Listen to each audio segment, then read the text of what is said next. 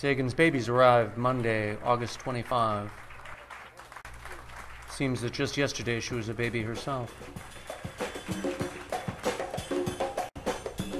If you listen closely, you can hear them squeaking.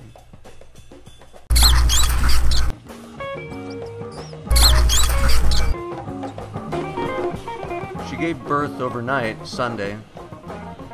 Pretty soon, instinct kicked in, as you can see, with the nesting, care, and feeding.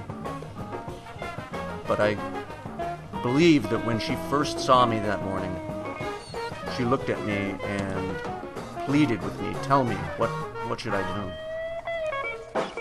I did my best to explain, Sagan, you're the rat, not me. One thing became clear, she would not permit other rats to get in the way.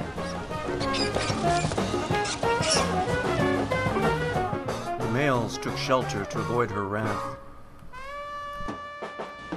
Around mid-morning, Sagan constructed her shelter out of newspaper. Ziggy, proud father, watched the proceedings.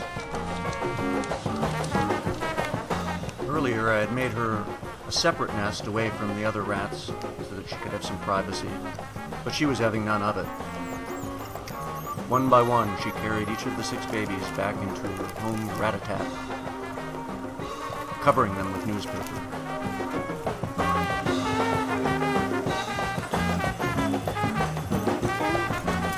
Now it's Wednesday, August 27, and a striking change has occurred.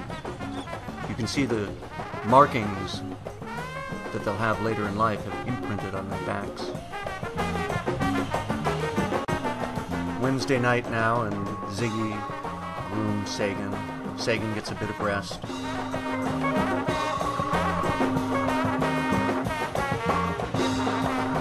They grow up so fast, you know.